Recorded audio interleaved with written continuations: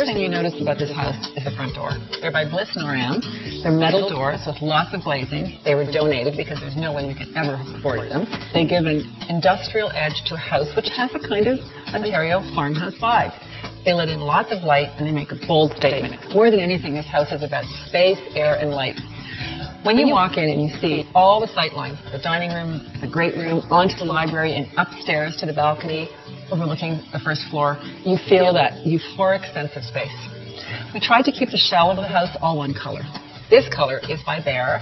It's called Antique White and works beautifully with our pale oak floors. What do you think of this? This is my statement for the front hall because it's one of my favorite colors this year. It's a dory and it's wonderful acid green, and you're going to find this color picked up throughout the house. In fact, there are lots of themes in this house that repeat over and over again. There's this worn wood, which we see in different shades throughout the house. There's bold art, often in black and white. And as you move into the great room, you can see the color scheme of charcoal gray, cream, with warm woods that you'll see repeated in each room of the house. The living room has a vibe that I love because it mixes a contemporary feeling of lightness and air with some traditional elements that give weight to the room, which you really need when you're dealing with a double height room like this. We actually took a Ralph Lauren classic sofa and we reupholstered the seat in a tufted bench style because that's very current, with two complimentary armchairs. Sitting on this rug, which is so inexpensive, it was from West Elm, has that diamond cat design, and the ottomans to match are witty.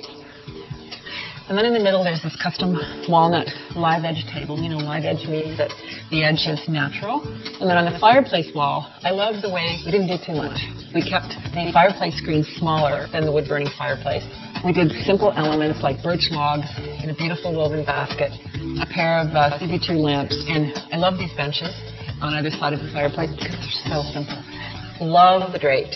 These are woven, they're linen, and they have stripe pattern which we used horizontally. We've been doing that a lot lately because it gives it a more modern feeling. And notice how the rods are hung a bit higher than the doors because it helps give a feeling of height. And how the doors throughout the house are painted Benjamin Moore blackjack, which is a favorite color because it's kind of an off black. This is a good moment here. This is a linen wrapped chest from Cocoon. It has brushed iron nail heads. We put a glass top on it to make it more practical. And we married it with this hammered iron mirror. And this is a cool lamp because the base is actually wood, but it's painted in a matte finish, so you feel like it could be tin.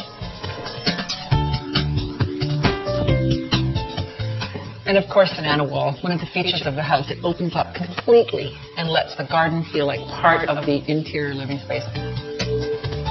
Of course, the reason this looks so fantastic is because we had a great architectural designer, Ray Murakami, our landscape architect, Ron Holbrook, gave us a beautiful vista, and the garden was installed by Koivat Construction. Central Fairbank Lumber gave us the decking material. There were so many suppliers to this house who were so generous and made it possible for us to do an amazing feat.